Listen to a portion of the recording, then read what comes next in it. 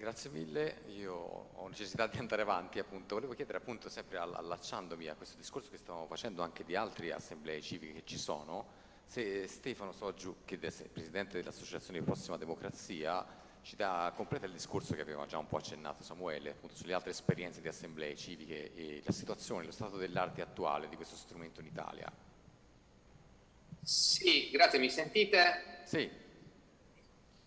Ok, grazie. Innanzitutto ringrazio da parte dell'associazione di cui sono presidente e di cui eh, Samuele eh, è vicepresidente il Festival della Partecipazione di Bologna che appunto ci ha uh, coinvolto uh, nell'organizzazione di questa, di questa giornata. E, um, una piccola presentazione naturalmente di, di, Prossima Democrazia credo che sia dovuta. Noi siamo uh, nati um, diciamo da qualche mese oramai eh, iscrivendoci anche eh, nel registro degli enti del terzo settore proprio perché abbiamo questa missione. Noi vogliamo ehm, affiancare come enti del terzo settore i governi e anche eh, naturalmente le altre organizzazioni della società civile a eh, lavorare sulle eh, assemblee di cittadini diciamo, e su tutti questi strumenti eh, partecipativi, ma in particolare su quelli che eh, prevedono eh, l'estrazione eh, a sorte. Siamo un po' partiti ehm, dalla, uh, dalle considerazioni che, che, faceva, che, facevamo con Alessandro Bellantoni prima, e cioè dal fatto che l'Italia, eh, anche se dire, la sua esperienza può essere un po' rivista alla luce di nuovi dati, comunque rispetto ad altri paesi europei è un po' indietro in questo eh, strumento, nell'utilizzo di questo strumento perché ehm, diciamo, la, uh, i processi decisionali democratici si sono concentrati sostanzialmente eh, sulla, su quelli eh, che prevedono la forma voto, come sappiamo, le elezioni, i referendum, su quelli che prevedono forme un po' più concertative no? all'inizio degli anni 90, quindi la concertazione con le parti sociali, di politiche eh, economiche, ehm, con, con, i governi eh, Ciampi in particolare e successivi, e, e quindi con le parti sociali, con gli stakeholders e poi con tutta una serie di forme diciamo autoselettive più o meno obbligatorie, più o meno legate per esempio con il governo anche urbanistico eh, del, del, territorio ehm, o altri strumenti appunto come tanti bilanci partecipativi, come tantissimi eh, processi partecipativi che eh, in eh, diverse parti d'Italia, anche per esempio uh, per la, la, um, le decisioni che riguardavano la politica di coesione, i fondi strutturali, sono, sono, sono nati e si sono sviluppati e poi abbiamo visto anche diciamo, una, un discreto sviluppo dal mio punto di vista della gestione diretta di beni comuni con queste forme di sussidiarietà eh, orizzontale e la cittadinanza attiva. Sono cose diciamo tutte un po' diverse rispetto a quelle di cui abbiamo sentito parlare fino adesso che si sono sviluppate un po' meno e che hanno determinato un po' il fatto che eh, diciamo a partecipare e poi alla fine sono chiamate più o meno sempre le stesse fasce sociali, quelli, quelle che eh, diciamo, gli studiosi eh, chiamano usual suspects, cioè diciamo, i soliti, un po' i soliti noti. E da questo parte un po' la nostra, diciamo, la, la, il, nostro, il, nostro, percorso ehm, è, ehm, è, che è un po' anche il, in generale il percorso delle assemblee, ehm, delle assemblee di cittadini e della democrazia deliberativa intesa in senso randomizzato, diciamo così, cioè dell'estrazione a sorte. Quindi se escludiamo alcuni casi della Toscana 2008-2013, questa forma randomizzata un po' in Italia è venuta a mancare e se consideriamo diciamo, le nostre democrazie come degli ecosistemi un po', o qualcuno direbbe meglio degli, ehm, degli assemblaggi, no? citando eh, per esempio filosofi come, come Delanda, ecco, se le consideriamo degli ecosistemi dove più specie devono eh, tra di loro eh, cooperare, anche competere, in alcuni casi, insomma, um, possiamo dire che quello italiano no, non è un ecosistema, diciamo, sano sotto tutti i punti di vista, nel senso che non è bilanciato anche con queste forme di rappresentatività che sono diverse. E siamo davanti a una democrazia che tende un po' ad oligarchizzarsi, un po' come tante democrazie occidentali, ma forse diciamo un po' di più attorno a un nocciolo che è quello degli, degli eletti, degli stakeholder, degli usual suspects, cioè di chi ha risorse eh, da, uh, da, spendere in questi, in questi processi, chi ha interesse, eccetera, eccetera. E allora come recuperarli questi, questi, questi mh, cittadini che non partecipano, no? che, che, sono, che, stanno alla finestra? Eh, beh, da una parte eh, attraverso il web e il civic tech si può recuperare una parte di questo, cioè coinvolgendoli attraverso la rete, però non basta perché questo determina, dice, voi sapete non tutti sono eh, sempre in grado e quindi hanno sufficienti competenze per utilizzare questi strumenti, quindi c'è, si dice un, un bias, c'è una distorsione verso chi sa utilizzare questi strumenti. Qualcuno propone anche eh, di, eh, diciamo, di spingere sull'andare a cercare eh, nei luoghi dove vivono le persone che non partecipano, si chiama outreach, però molte volte quando io interpello luoghi, nei luoghi dove vivono le persone su eh, che cosa diciamo, potrebbero suggerire rispetto alle politiche, rispetto al governo di una città, eccetera, è difficile che possano esprimere delle opinioni informate in quel momento perché non sono passate attraverso un percorso appunto informativo.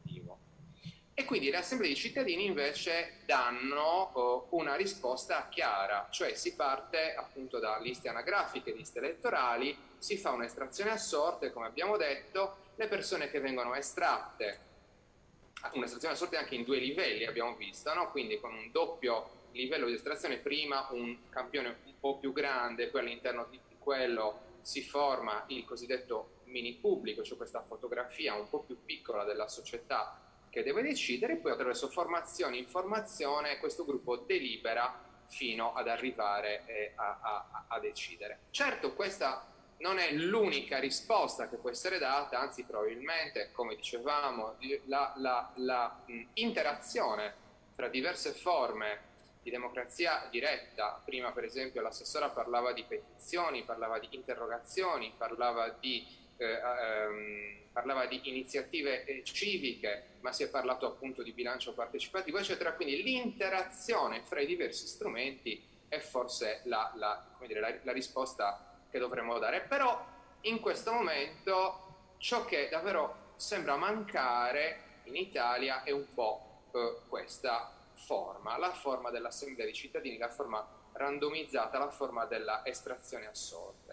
E questa specie è una specie che dal nostro punto di vista è anche, eh, diciamo, per usare un'espressione un po', un po' leggiadra, è anche constitutional friendly in qualche modo perché rispetta alcuni principi importanti della nostra Costituzione. No? Prima di tutto un principio di, principio di uguaglianza, sancito dall'articolo 1 e dall'articolo 3 eh, della nostra uh, Costituzione. Quindi il caso ci rende sostanzialmente tutti uguali, siamo oh, tutti potenzialmente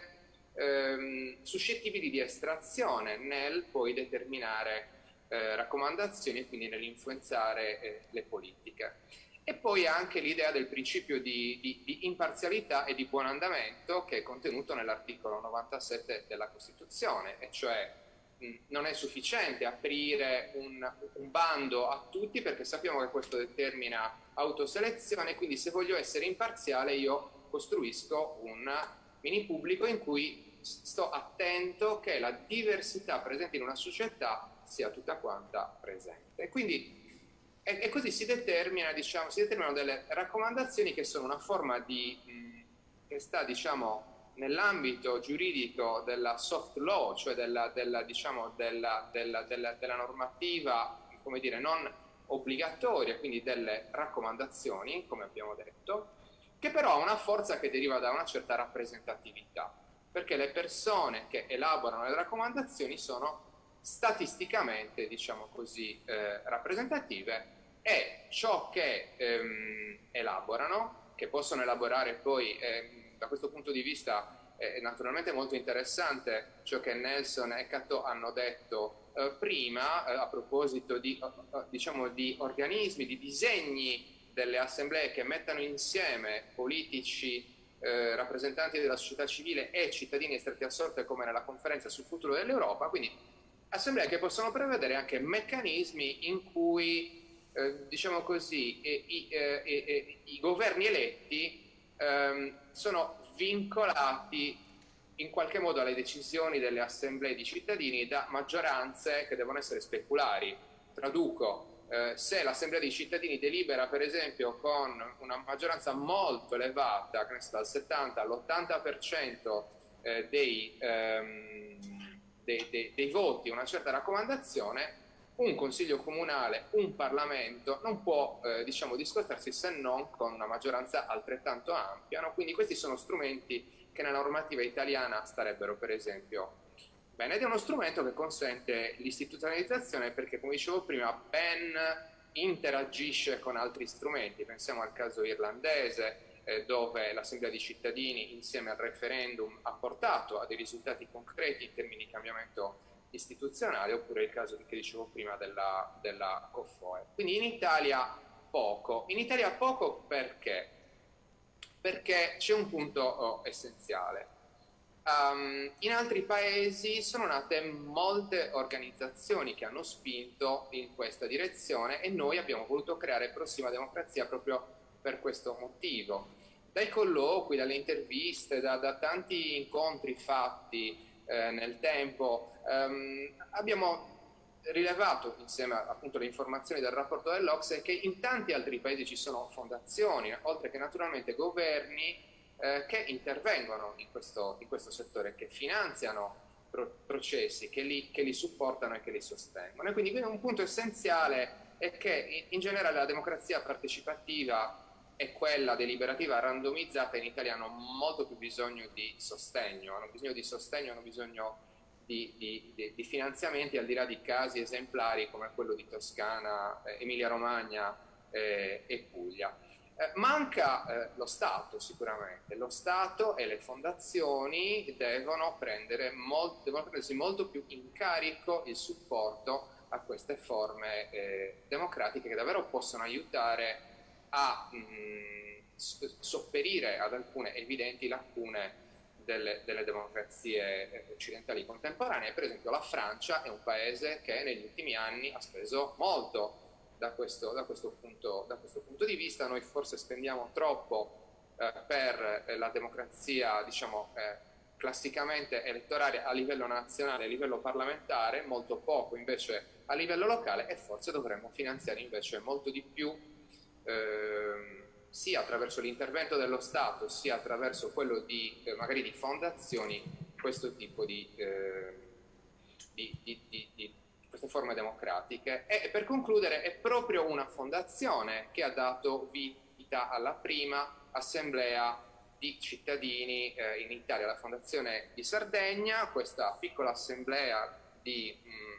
piccolo eh, comune eh, della provincia di Sassari su cui sto lavorando personalmente, su cui stiamo lavorando anche come Prossima Democrazia. Il comune eh, si chiama Bulzi, ha non più di 400 abitanti, ma non, non vi stupisca che si faccia anche in un comune così piccolo un'assemblea di cittadini perché alcune forme diciamo, di automarginalizzazione eh, dall'attività politica ci sono in tutte le realtà. In fondo la, la, legge ferrea dell'oligarchia si applica diciamo, a, più o meno a tutte le organizzazioni, a tutte le società e quindi anche piccolissimi comuni diciamo, vedono questo, questo tipo di, di disfunzione. Grazie e mille lì, Stefano. Eh, ah, okay.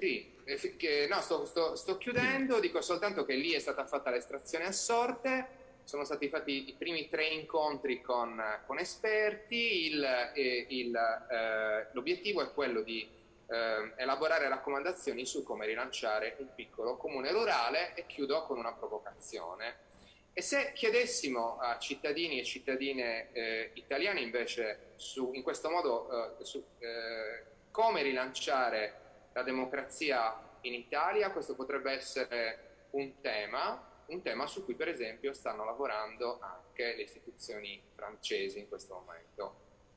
Benissimo, grazie.